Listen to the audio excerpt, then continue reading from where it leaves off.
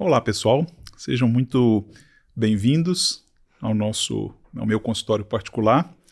E hoje nós temos um assunto muito interessante para a gente poder estar tá conversando um pouquinho. Vamos falar sobre comunicação e captação de pacientes. E eu estou aqui com uma presença muito especial, com uma mentora também do, do MCP. Para quem não me conhece, meu nome é Cristiano, sou mentor do MCP e hoje nós estamos aqui como convidada a doutora Michele de Sá Carvalho, cirurgiã vascular e endovascular, formação em medicina pela Universidade Oeste Paulista, em Presidente Prudente, residência médica em cirurgia geral vascular pelo Hospital Municipal do Tatuapé, cirurgia endovascular pela Beneficência Portuguesa e o curso também de ultrassom pelo CEL São Paulo. Michele, seja muito bem-vinda e um prazer muito grande ter você aqui conosco. Gostaria de agradecer o convite e vai ser um prazer a gente estar discutindo alguns temas tão importantes para a construção de um consultório particular de sucesso. Muito bom, excelente. Michele, vamos começar então falando um pouquinho sobre essa parte né, de comunicação e depois a gente vai seguir falar qual que é a importância disso para a gente poder também captar pacientes, né? Essa parte de comunicação, você teve algum treinamento durante a faculdade? Conta como é que foi isso, esse aprimoramento, esse desenvolvimento e o que, que é importante, né? Então, é, infelizmente, hoje em dia as faculdades de medicina acabam não treinando a gente para essas habilidades relacionadas à comunicação. Então, essas habilidades elas, acabaram sendo treinadas após a formação, após toda a minha formação como especialista. Então, quando eu comecei a usar mais as redes sociais para falar mais do meu trabalho, eu comecei a perceber a necessidade de me comunicar melhor, de conseguir conversar melhor com os pacientes. Porque quando a gente começa a produzir conteúdo, a gente começa a falar tudo muito tecnicamente, como se a gente estivesse falando de médico para médico. Mas não é esse o intuito. A gente tem que falar para pacientes leigos, que é o nosso público-alvo, que é o paciente que a gente quer passar informação de saúde. Então, acho que o nosso objetivo principal ali, quando a gente começa a abrir as redes sociais para falar de medicina, é promover uma saúde de qualidade, tanto para quem está próximo quanto para quem está à distância. Então, a partir desse momento, eu comecei a ver a necessidade de me comunicar melhor. Então, eu comecei a fazer cursos, algumas mentorias. Inclusive, o meu consultório particular me ajudou bastante nessa parte de comunicação para conseguir falar de uma forma mais direta e mais próxima do meu público. E eu acredito que isso eu venho conseguindo fazer com bastante facilidade, porque muitos pacientes, quando chegam no meu consultório, eles falam, doutora, eu gosto muito dos seus conteúdos porque eu entendo o que você fala. Você fala como se estivesse fazendo, falando com a gente. Então acredito que é isso. Acho que uma dificuldade que a gente encontra no início é a gente querer falar muito tecnicamente. E não tem que ser isso. A gente tem que falar tudo o mais simples possível para que o paciente consiga entender. Como também essa comunicação durante a consulta. Quando o paciente ele te procura, ele tem uma dúvida, ele está com alguma dor, ele está com algum problema. Então a gente precisa facilitar toda essa jornada. Então quando o paciente senta na sua frente, a gente tem que estar tá igual por igual. A gente tem que descer um pouquinho ali do patamar que muitos médicos se colocam e a gente tem que estar tá no mesmo patamar que o paciente, ouvir as dores dele e tentar explicar e dar as opções de tratamento e as soluções para o caso dele da forma mais simples possível. Porque se ele não entender qual é o problema e quais as soluções que tem, o que, que a gente tem que fazer, ele não vai aderir ao tratamento. E vai ser um paciente que ele não vai seguir. Então, a partir do momento que a gente facilita essa comunicação, tudo fica muito mais fácil, porque a gente consegue converter esse paciente. E aí, eu acredito que é, a gente acaba abrindo muitas portas. Uhum. Que legal você ter essa preocupação de não só transformar o técnico, tá? Numa linguagem acessível, né, ao seu paciente, como você colocou, e essa preocupação sua de querer realmente explicar para o seu paciente não só o que você está fazendo, qual realmente é esse planejamento, qual que é realmente o resultado. Então isso é muito, muito realmente bacana. Eu concordo contigo, realmente a comunicação ela é muito negligenciada nos currículos médicos e eu creio que a grande maioria, talvez, né, dos colegas essa seja uma soft skill que a gente precisa trabalhar não só durante a nossa formação, mas também durante realmente aí a nossa residência e até mesmo a prática clínica, né?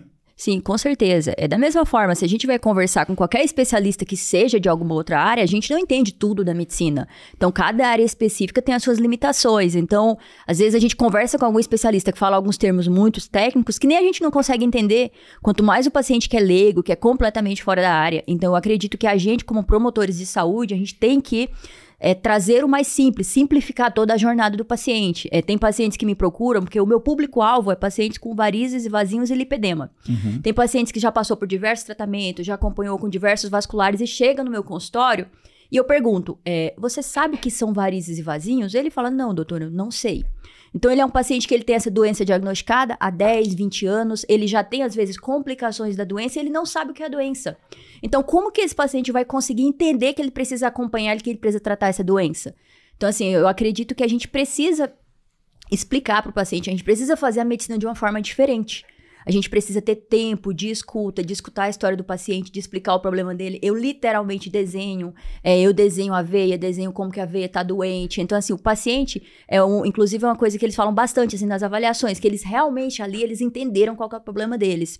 Então, ali a gente vê que o paciente ele vai ter uma facilidade maior de ele aderir ao tratamento, dele fazer as medidas, as mudanças de estilo de vida que a gente tanto é, orienta. Então, acredito que essa é a base do tratamento. Por quê? Se o paciente ele vai no médico, chega lá no médico, médico. O médico explica tudo com termos muito técnicos, ele sai da consulta sem entender nada. Como que ele vai confiar fazer o tratamento com aquele paciente? Que ele não vai ter liberdade nenhuma de estar tá conversando, de estar tá discutindo, de perguntando alguma coisa. Então, quando eu desenhei toda a jornada do meu paciente ali dentro da minha clínica, eu desenhei pensando nisso. Eu quero que a gente trate o paciente vascular de uma forma completa. Eu quero que ele entre e saia da consulta com diagnóstico, com um plano de tratamento e com um tratamento para ser feito. Para a gente facilitar tudo isso. E também precisa ter uma comunicação com esse paciente, uma comunicação efetiva, para que ele confie no meu trabalho, porque senão não adianta a gente ver muitos profissionais bons, muito bons, eu tenho colegas muito bons, mas que não se comunicam bem. Que vai para rede social, ele fala tudo muito técnico, ninguém entende. Então assim, a comunicação é a base de tudo. Não adianta você ser bom se você não souber mostrar o quanto você é bom. Então, acredito que a comunicação entra nisso. Infelizmente, a gente não sai com essa habilidade, a gente precisa treinar. Uhum. Então, cada dia a gente vai treinando mais e mais. Hoje eu tava dando uma olhada nos meus vídeos anteriores quando eu comecei a fazer Instagram. Deve fazer mais ou menos uns dois anos que eu comecei a fazer. Uhum. Eu olhei os primeiros vídeos, horríveis. Hoje eu gravei mais alguns, não tô ainda tão boa, mas já melhorei bastante. Então acredito que é um treinamento, a gente vai treinando aos poucos, vai ficando tudo mais fácil. Assim como na medicina, assim como em tudo, é a base do treinamento. Então, a partir do momento que a gente percebe que a gente tem esse déficit, que a gente precisa melhorar, a gente precisa correr atrás. Uhum. Não dá pra gente se acomodar e achar que é dessa forma, que a gente é o médico, que a gente é o dono da razão e que a gente é superior a todo mundo. Uhum. É interessante você falar nisso, né? É uma habilidade treinável. Né? Com certeza. Então, isso é muito é, é importante para você, colega médico, que tem dificuldade de se comunicar não só com seu paciente ou mesmo Alguns colegas têm medo, têm receio de ir para a rede social e aquela questão de se expor, né? É, quando a gente começa na rede social, a primeira coisa aqui no grupo a gente é zoado do blogueirinho, né? Então, assim, a gente começa ali a fazer é, algum vídeo, alguma coisa, todo mundo, ah, esse aí quer ser blogueira. Então, a gente começa a ser muito zoado na rede social pelos próprios colegas. E aí você vai desanimando um pouco, alguns momentos você vai desanimando, aí você fala isso não vale a pena, mas quando você vê que esses conteúdos que você mostra para os outros, que ele faz diferença, tem algum paciente que fala assim: "Nossa, doutora, por suas dicas eu percebi que eu tenho problema em tal doença, que eu tenho isso, eu fui atrás de uma ajuda médica". Isso faz toda a diferença. Eu acredito que isso vai fazer uma diferença final. Por quê? Porque quando você está só local ali atendendo no seu consultório, você consegue ajudar X pacientes por dia, por mês. Agora, quando você vai para a internet, isso se multiplica. Vários pacientes vê vídeos seus. Hoje em dia eu tenho vídeo com quase 400 mil visualizações. É, então, assim, isso chegou a uma proporção um pouco maior. Tem pacientes que me seguem de diversos lugares do país. Então, eu acho, eu fico muito feliz quando eu vejo que o meu conteúdo, de uma forma mais acessível, ele chega para quem não tem essa informação. Uhum. E não é todo mundo que Infelizmente, no Brasil, nem todo mundo tem acesso a médico especialista. Exato. Então, às vezes, você passa alguma dica simples para melhorar algumas queixas para o paciente que já faz uma diferença na vida dele. Então, uhum. acredito que a gente tem também essa missão de melhorar a qualidade de vida da população no geral. Uhum. Então, se a gente pode isso, por que, que a gente não pode se comunicar? Por que, que a gente não pode ali nas redes sociais falar? Exato, perfeito, muito bom. Dentro dessa habilidade né, de, de, de comunicação, Além dessa escuta ativa, acolher o paciente, explicar para ele, O que mais você vê que eu, como médico, posso realmente é, cuidar, que eu posso chegar e falar: olha, isso é importante eu fazer dessa forma porque vou melhorar a minha comunicação alguma coisa que você vê que você faz, alguma dica que você possa dar dentro da sua prática? Eu acredito que ser humano, tá? Você, uhum. Acho que se uhum. você mostrar para o paciente que você também tem dores, que você também tem problemas, que você. É, é o, o médico ele sempre é visto como um ser humano perfeito tá? Uhum. Então, quando fala de médico, a gente sempre imagina aquela pessoa perfeita. Então, a partir do momento que você mostra para os pacientes que você também tem dores, que você também tem medo, você torna-se humano para ele e ele começa a te ver mais como, como uma pessoa e eu acho que você começa a ficar mais plausível para ele. Então, acho uhum. que a uhum. comunicação fica muito mais fácil. É uma coisa que eu é, abordo assim no meu, no meu Instagram bastante. No começo eu quis omitir um pouco, mas uhum. depois eu uhum. percebi que tinha uma necessidade de ter essa abordagem. É, eu sou uma paciente que eu sempre sofri, sofri de obesidade a vida inteira. Correto. É, há 11 meses eu decidi fazer cirurgia bariátrica, então eu sou uma paciente pós-bariátrica, tá? Essa minha decisão de fazer a cirurgia bariátrica, ela foi principalmente por é, um, eu tinha muitos pacientes que eram pós-bariátrico e eu conversava com eles, porque eu sempre tive uma comunicação muito boa com os pacientes, uhum. e eles me contavam de como foi a cirurgia, do que eles fizeram, de como mudou a vida. Então, os meus pacientes, eles me induziram a falar: opa, eu preciso mudar minha vida. Uhum. Como é que eu posso sentar para o paciente e falar: olha, para você ter uma saúde vascular, você precisa parar de fumar, você precisa fazer atividade física, você precisa perder peso. Uhum. Sendo que quando me olhava, eu estava 30, 40 quilos acima do peso. Uhum. Então, o paciente, ele me ajudou muito. Ao passo de que eu ajudo os meus pacientes, os meus pacientes me ajudaram a tomar uma das melhores decisões da minha vida, que foi atrás da minha saúde. A partir do momento que eu percebi que a obesidade era uma doença, eu fui atrás de uma solução. Então, eu fui atrás de um médico, é, eu pesquisei ele no Google, eu fui através de indicações, eu fui na consulta. O grande diferencial para falar é com esse médico que eu vou operar, porque ele era uma pessoa humana, uhum. ele tinha um atendimento bom e ele era bem avaliado. Uhum. Então, esses foram os requisitos principais fiz a cirurgia. E hoje em dia eu falo é, no meu Instagram, por alguns meses eu omiti, não quis falar muito de, sobre a cirurgia bariátrica, porque para mim, durante um tempo, eu via isso como um fracasso, porque eu perdi para obesidade, eu precisei operar. Então, é, isso eu trabalhei na terapia e vi que não. Vi o quanto que eu era forte, que eu tive coragem de ir lá, passar por uma cirurgia, pelos riscos de complicações, começar a fazer atividade física, mudar todos os meus hábitos alimentares. E aí, por que, que eu não poderia compartilhar isso com meus pacientes? Uhum comecei a compartilhar também da minha história para os meus pacientes e vários já vieram falar, doutor, eu decidi fazer bariátrica por sua conta. Então, assim, eu acredito que isso faz toda a diferença. Quando você tem aquele cuidado, quando você é uhum. humano. Uhum.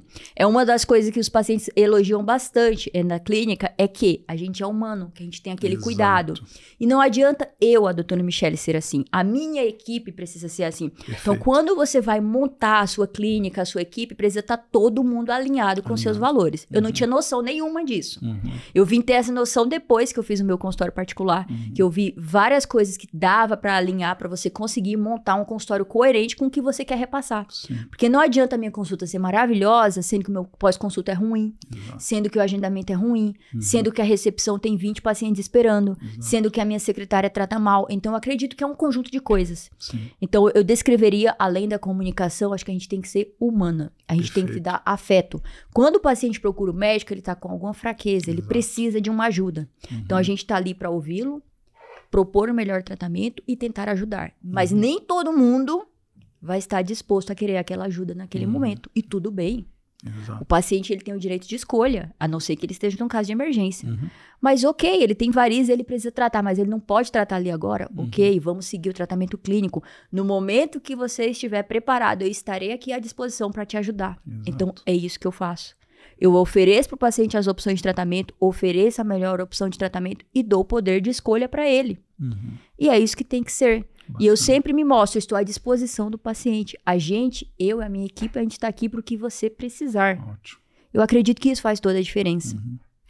Olha, parabéns, obrigado por você ter realmente é, é, exposto, né, com muito carinho, com muito respeito, a sua vulnerabilidade. Sim. Não sei se você já teve a oportunidade de, de ler o, o livro da Brené Brown, né? A Coragem de Ser Imperfeito. Não, não li ainda não, mas, mas já eu vou falar, pôr na lista, né? já ouvi Exato, falar. Vou pôr na, lista, de né? livros. É realmente sensacional, ele fala exatamente muito disso aí, realmente, que você colocou, né?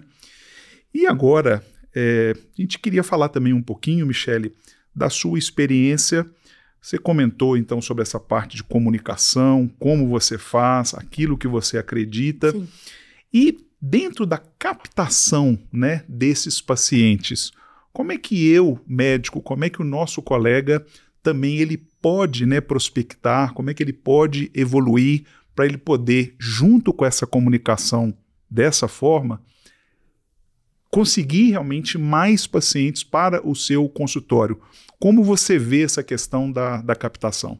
Olha, é, sobre a questão da captação de pacientes, eu acho que ela é um pouco variável de acordo com a especialidade Uhum. do médico, tá? Hoje em dia, algumas, algumas especialidades, elas têm um alcance muito bom pelo Instagram. Outras nem tanto. Uhum. Mas eu acredito que hoje em dia, basicamente, a gente tem é, Instagram, TikTok, Uhum. YouTube.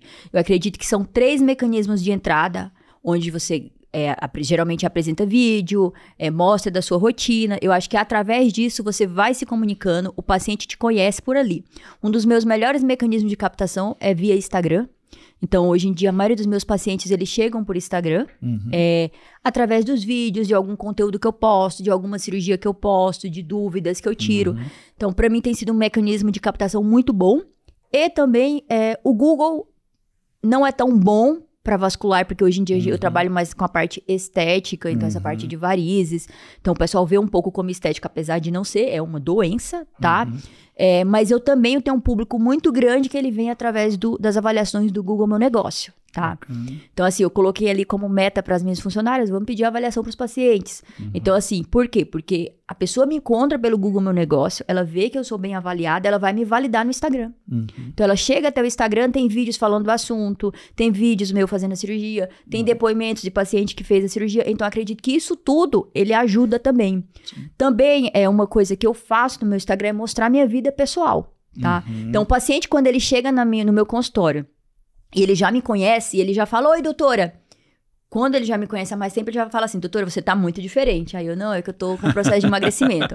Então, assim, vários falam assim, ah, é, você renovou, você tá diferente.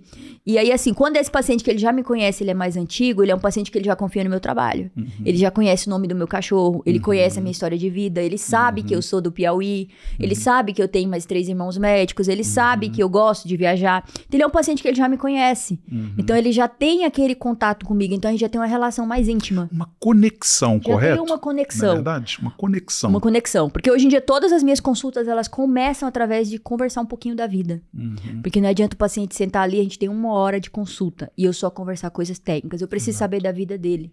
Há quanto tempo ele sofre com problema, o que que ele faz, em que que ele trabalha, qual que é a história de vida dele. Uhum. Então eu acredito que assim, e eu também posso mostrar minha história de vida pra ele, porque é um exemplo de superação, tudo é um exemplo que a gente pode levar. Então hoje em dia eu acredito que a comunicação que a gente tem, é, para mim o Instagram funciona muito bem. Agora eu vou começar a fazer YouTube também. Uhum. É, mas acredito também é um canal muito bom, porque a pessoa vai lá buscar, vai buscar informação. Então, se ele simpatiza com esse médico, se ele acha o médico simpático, que o médico explica bem, Exato. que explica de uma forma acessível, ele tende a procurar esse médico. Agora, se eu explico tudo tecnicamente, ele não vai me procurar. Uhum. Talvez esse, quem procura esse médico é para vender curso, para outros médicos, para qualquer outra coisa. Agora, o paciente não vai entender nada. Então, eu acredito que ter essa questão dessa linguagem e o uso das redes sociais é muito importante hoje em dia. Hoje em dia, né? Antes a gente via que chegava através de anúncio no jornal, em algumas cidades menores, Uhum. outdoor, rádio, mas hoje em dia em São Paulo não. E aí, quem que é a doutora Michelle em São Paulo? Exato. Uhum. É, a gente não sabe. Então, se eu não colocar a- minha cara ali é, é, à disposição para bater, que nem a gente fala, né? Uhum. Passar vergonha ali no começo, no Instagram, e for fazendo trabalho, mas fazendo um trabalho sério, Uhum. tá? A gente nunca faz um trabalho para buscar o fim, tá? Uhum. O meio não justifica o fim. A gente faz um trabalho bem feito que, a- o, o- que os frutos vêm. Exato. Então, eu acredito que a partir do momento que você vai fazendo um trabalho legal, mostrando um pouco de você, mostrando a sua parte pessoal, mostrando quem você é, mostrando quem você é profissionalmente, eu acho que tende a fazer a diferença, tá? Uhum. Porque você não é simplesmente a doutora Michelle que é cirurgiã vascular. Tá, eu sou a doutora Michelle, que eu sou filha, eu tenho um Exato, cachorro adotado, eu tenho isso. irmãos, eu tenho a minha filhada, eu gosto Exato. de viajar, eu venci a obesidade, eu sou amiga. Uhum. Então, assim, eu acho que é isso. É, Eu sou uma pessoa além do meu, da, dos meus títulos. Você não é só um CRM, você Eu não não, é uma um médica, CRM. você é um ser humano. Eu sou um ser humano. Correto. E o paciente tem que saber disso. Tem que saber E disso. o paciente também ele não é só Uhum. o paciente, ele é alguém, ele tem uma Uhum. família, então ele tá ali confiando no seu trabalho. Sim, Então, qual que é o meu compromisso? De oferecer o melhor, perfeito. Você então fazendo um bom resultado, com certeza. esse resultado, tá? Vai cair também na boca de outros pacientes e aí o que que vai acontecer? Indicações. Indicações. É hoje em dia o fluxo que eu já vejo da clínica, tá? Uhum. Quando a gente começou, 90% dos atendimentos era via Instagram. Uhum. É, hoje em dia, eu, eu fiz esse levantamento na última semana, 40% vem via Instagram, 30% já vem via indicação, e o restante dos 30% é isso de novos pacientes, tá? Eles vêm via Google, avaliação Google Meu Negócio. Então, assim, foi mudando. É, e o que eu sempre converso com a minha equipe é que a mudança é constante. A gente tem reunião semanal. Por quê? Porque sempre são estratégias novas. Só repete aí de novo. Hoje, então, o seu 30% então indicação, 30% 30%, indicação. Instagram, correto? 40% Instagram. 40%, tá? E 30% Google e avaliações que vêm do Google outras Negócio, avaliações. entre doutoralha. Isso para pacientes novos. Que bacana. E, olha, e- e olha só, pessoal, é, isso que a colega está passando é precioso, né? Como ela tem isso metrificado, né? A importância de você medir os leads, ou seja, da onde estão vindo né, os seus pacientes, ela vai desenhar o quê? Estratégias específicas para cada um desse tipo de mídia diferente. Sim, com certeza. Uhum. Então, assim, no início a captação era 90% do Instagram. Uhum. Então, hoje em dia já mudou. Uhum. Que graças a Deus, que aí agora vem mais indicação, vem via Google, que é uma forma orgânica de chegar a pacientes através das avaliações. mais barato. mais barato. Então, assim, a gente nunca pode depender de um único canal De de, único captação. É, eu lembro muito bem que antes de eu inaugurar meu próprio espaço, a minha clínica, eu vi no plantão 24 horas, que foi assim que eu entrei no MCP. Uhum. E aí eu tava numa mesa discutindo com o Victor Miranda, e eu falei, Victor, é, eu vou abrir a clínica, você acha que vale a pena investir no Doctoralha? E ele falou assim, olha, Doctoralha a gente tem histórico de que não tem tanto retorno, dependendo, mas já que você vai investir tudo, começa de tudo, investe. Falei, ok, eu vou começar, vai pra todo lado. Uhum. Eu invisto no Doctoralha. Não traz muitos pacientes, mas eu tô Uhum. ali no meio. é, Eu já tenho 140 avaliações do Doctoralha, que é Uau. uma quantidade boa de Muito, avaliações. Muito, boa.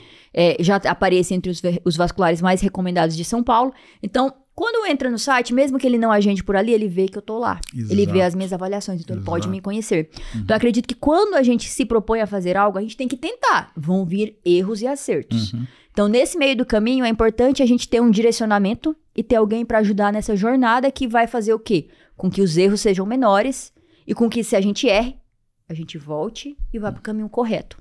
Uhum. Porque não adianta, ah, eu já entrei aqui, tô errando, mas eu vou em frente. Não, você Uhum. pode mudar a rota a qualquer momento. Sim. Então, quando você, como eu tive o meu mentor, ele foi me direcionando para vários erros que eu acabei evitando. Uhum. No início, eu estava investindo bastante no Google e eu não estava tendo Uhum. retorno. Mas isso eu soube que eu não estava tendo retorno por quê? Porque os leads eram mapeados. Como que eu sabia que eu precisava mapear leads ou que era Uhum. leads? Através do meu consultório particular. Uhum. Isso é bem direcionado, que nem eu falo, eu preciso saber de onde vem o paciente. Exato. Então, no momento que eu vi que eu estava investindo no Google e eu não estava tendo retorno, eu tirei aquela verba do Google e reinvesti no Instagram. Perfeito. Então, eu fui mudando as estratégias. A estratégia não é a mesma. Eu sempre tenho que estar estudando, tenho que estar informado e tenho que estar fazendo os ajustes tanto com a equipe do tráfego quanto com as minhas funcionárias. Eu preciso ter esse canal direto com elas de sentar e ver os leads, ver de onde vêm os agendamentos. Porque se a gente não vê isso, a gente fica num estudo cego. Você vai caminhando sem ver para os lados, sem ver o que que tá, o que que tá de errado. Uhum. Então você fala, opa, não tá agendando paciente novo, eu vou colocar mais dinheiro aqui no Google porque tá faltando dinheiro. Vai pondo dinheiro numa coisa que não tem retorno. E vai perdendo E vai dinheiro, não é perdendo. verdade? Vai não- perdendo dinheiro. Dinheiro, perdendo energia, e aí onde Exato. muitos desistem. Exato. Muitos falam assim, opa, não é pra mim, consultório não é pra mim. Consultório é uma construção. O consultório ele não vem pronto, você tem que montar ele, tem que ir adequando pra sua realidade. É um processo. É um processo. E não existe uma fórmula de bolo. Existe soluções mais fáceis que você vai pondo para cada situação específica e você vai adequando à sua realidade. A minha realidade foi essa. Possa ser que daqui a dois meses mude completamente. Por isso que a gente tem que mapear todos os leads para ver o que, que eu preciso ajustar. Para ver o que, que eu preciso falar mais, o que, que meu público busca. E eu preciso fazer ajustes. Um exemplo. Quando eu comecei a atender, eu falava, não gosto de atender consulta online. Só vou atender presencial, porque online o paciente não tem como eu tratar da forma adequada, não tem como fazer procedimento. Porém, com o tempo começou a chegar uma demanda. Qual a demanda? De pacientes que me seguiam no Instagram de fora. Não, doutor, eu sou de fora, mas eu quero operar com você. Uhum. Como que a gente corrigiu essa demanda? A gente mudou o plano, começou a fazer consulta online, onde eu atendo o paciente, eu examino. Se ele não tem ultrassom, eu solicito ultrassom, ele faz ultrassom lá. Uhum. Vejo se é cirúrgico no retorno, a gente já decide se é cirúrgico ou não. Se for cirúrgico, ele vem para São Paulo, um, dois dias antes da cirurgia, passa na minha clínica, já fiz convênio com o hotel, então no pacote cirúrgico já está incluso o hotel. Olha que Ele fica no hotel do prédio da Que clínica. bacana. Puxa, ele fica no hotel, ele passa em consulta comigo, eu faço ultrassom véspera da cirurgia, Uhum. já converso com o paciente, vejo todos os exames, no dia seguinte ele opera. Já vejo ele no pós-operatório, ele pode voltar. Então, assim, são demandas que vão surgindo ao longo do caminho. Uhum. Se eu simplesmente falasse, não vou fazer consulta online, eu perderia esse público. Uhum. E esse público que gostaria de operar comigo perderia a oportunidade. Uhum. Então, acredito que a gente tem que estar aberto a mudanças. Sim. Não adianta eu falar, isso é dessa forma e não vou mudar. Se fizer isso, está fadada ao fracasso. Sim. Então a gente tem que ir mudando constantemente e se readequando. Uhum. Eu não sou a mesma Michelle de um ano e meio atrás, e não, nem você é a mesma daqui a um ano. Exato. Então preciso estar aberto a mudar. Exato.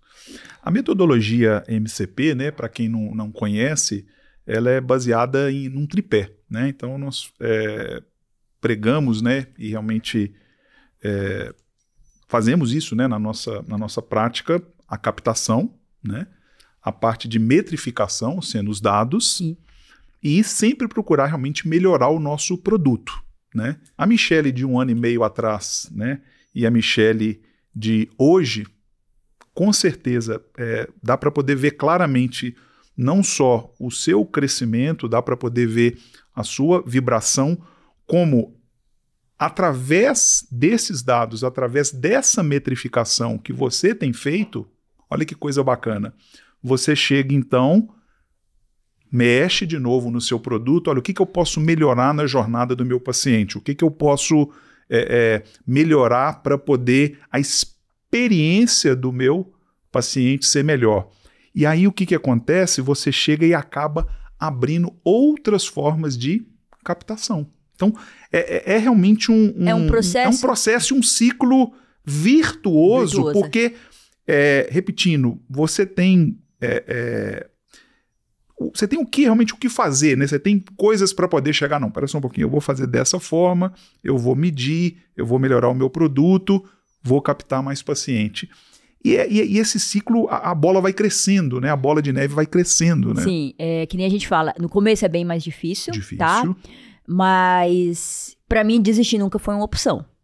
Então, Uhum. assim, muitos falaram, você é muito corajosa, abrir um consultório. Então, assim, pra mim desistir nunca foi uma opção. Então, eu fui procurar estudar, me qualificar e oferecer o melhor tratamento para cada paciente que sentasse comigo. Uhum. Então, eu acredito que isso tem dado muito certo, graças a Deus. Tanto que o produto vai mudando. É, agora eu tô em fase de expansão da clínica, eu tô fazendo algumas readequações.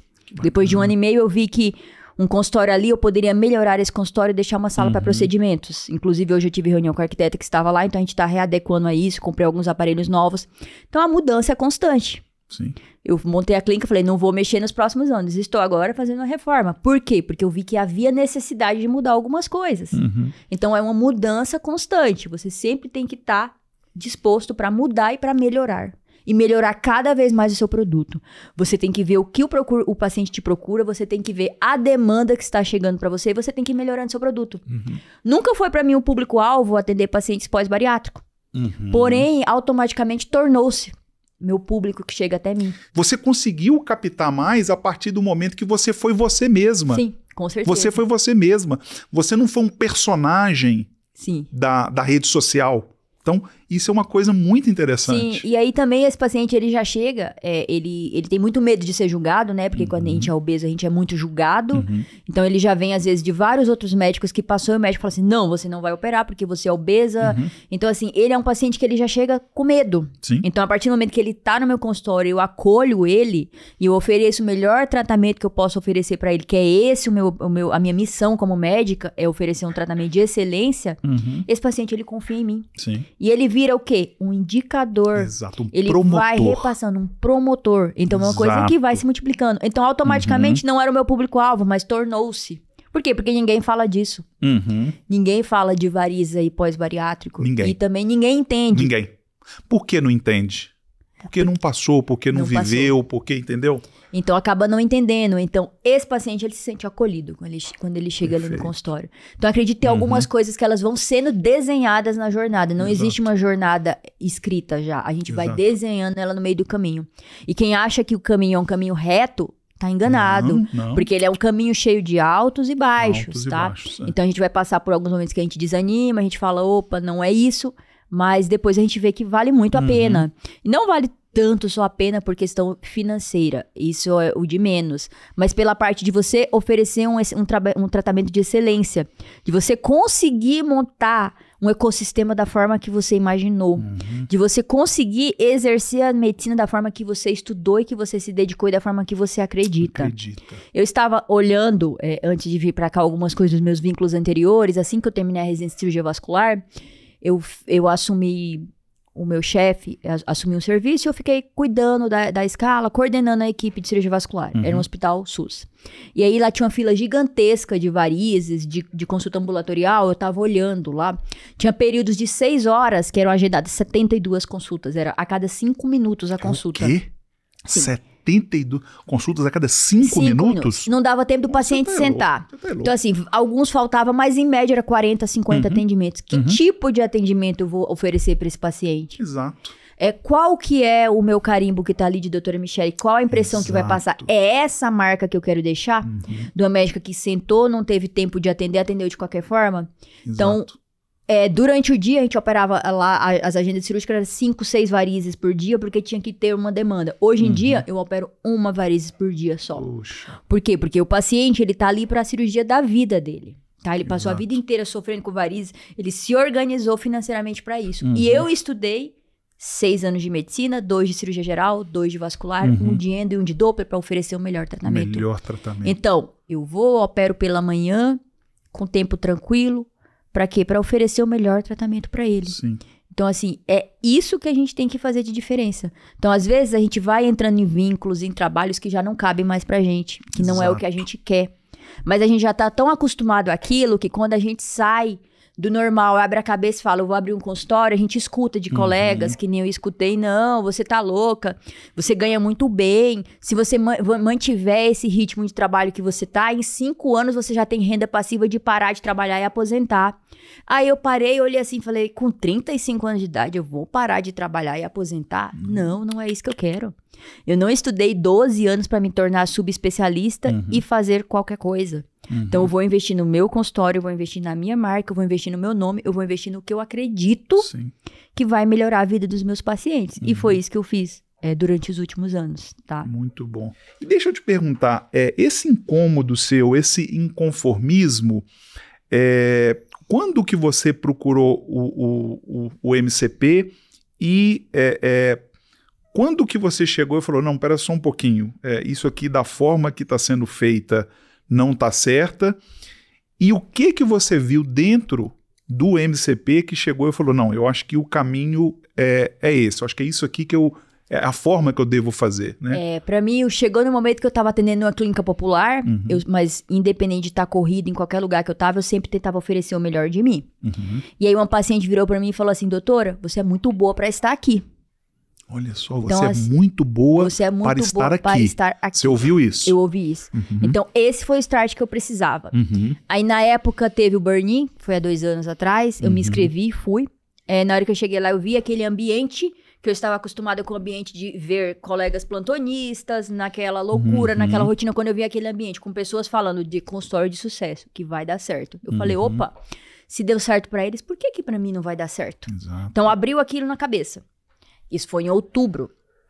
Mandei mensagem em novembro pra entrar no programa. Aí passei por entrevista, falei como que tava, falei, vou montar o meu consultório. Uhum. E aí eu procurei espaço, hum, foi daí que surgiu a ideia. Uhum. Quando eu fui fazer reforma, montar consultório, tudo, eu já estava inscrita no MCP. Sim. Então, ele foi um consultório que foi completamente desenhado de acordo com o que o Nossa, MCP desenhava. Então, eu acho que para mim eu acabei evitando, é, evitando muitos erros, Erros. porque eu tive um direcionamento ali desde o início, Uhum. tá?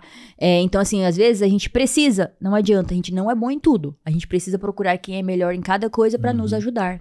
Uhum. Eu preciso entender de gestão, preciso disso, mas eu preciso de um direcionamento, eu preciso de alguém para me ajudar. Não Uhum. tem como eu ser o melhor atendendo, o melhor na gestão, o melhor no marketing. Não, eu preciso procurar gente para me ajudar. Então o MCP ele entrou como isso. Ele entrou ali para me ajudar em toda a estruturação do consultório, durante a jornada dos erros, dos acertos. Eu tinha um mentor ali do meu lado para me ajudar. Tinha as mentorias coletivas que eu via isso. Uhum. Então eu via é, dúvidas dos colegas, eu via a história de todo mundo e ali eu foi me ajudando a ir construindo um consultório ao longo do tempo. Uhum. Foi muito mais rápido, assim, do que eu esperava, porque geralmente a gente fala que demora muito mais. O primeiro ano não é tão bom, mas, tipo assim, os últimos seis meses a gente tá indo muito bem. Uhum. Tanto que a gente colocou metas pra chegar em dezembro, a gente chegou nessas metas propostas em julho. Uau, que bacana. Então, assim, eu acredito que é isso. Você tem que acreditar que o seu produto é bom, Uhum. você tem que ter uma equipe coesa ao seu lado, que Uhum. acredite em você e você tem que Uhum. oferecer um bom trabalho, Sim. tá? Se você tiver tudo isso, mas se tecnicamente você for bom, não adianta. Uhum. E se você tecnicamente for bom, mas se você não tiver toda essa estrutura por trás de você, se você não tiver a coragem de empreender e de sair da realidade que você tá e sair do conforto Uhum. pra passar uma fase de desconforto pra depois você dar dois passos pra frente, você vai continuar na mesma reclamando dos vínculos e reclamando de tudo. Sim. Então eu vejo o MCP que ele chegou ali no momento exato na minha vida. Ele, ele me ajudou a acordar, a ver que dava pra investir, que dava pra construir um consultório particular de sucesso, fazendo as coisas da forma ética e da forma correta. Correta, né? Para a gente poder finalizar, ainda dentro dessa parte de, de, de captação, você comentou que já fazia já um, um pouquinho já de rede social há um ano e meio, dois anos um e meio, atrás, dois né? anos, mais ou menos, né? Exato.